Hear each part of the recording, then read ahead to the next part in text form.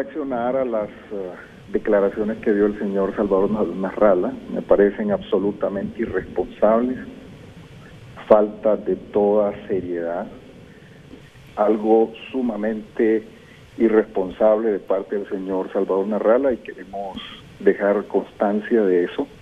No aceptamos sus observaciones.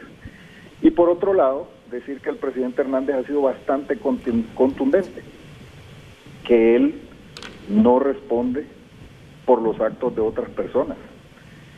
Si el señor Narrala tiene pruebas de lo que ha dicho, que lo presente, que se presente ante los órganos que investigan y lleve las pruebas.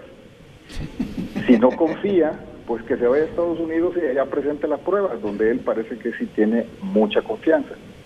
Y por otro lado, también decir que si él no las tiene, entonces se está quedando como una persona de esas absolutamente irresponsables que solo repiten lo que oyen, solo repiten lo que otros dicen.